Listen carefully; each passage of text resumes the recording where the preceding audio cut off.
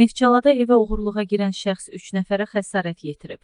Bu barədə Qafqazinfoya Daxili İşlər Nazirliyinin mətbuat xidmətindən məlumat verilib.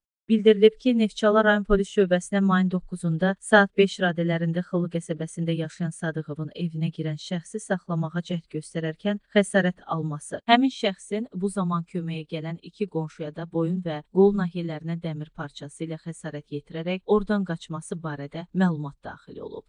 Polis əməkdaşlarının keçirdikləri əməliyyat tədbirləri nəticəsində bu əməli törətməkdə şübhəli bilinən Salyan rayon sakini Qalib Müqabilzadə müəyyən edilərək saxlanılıb. Araşdırma aparılır.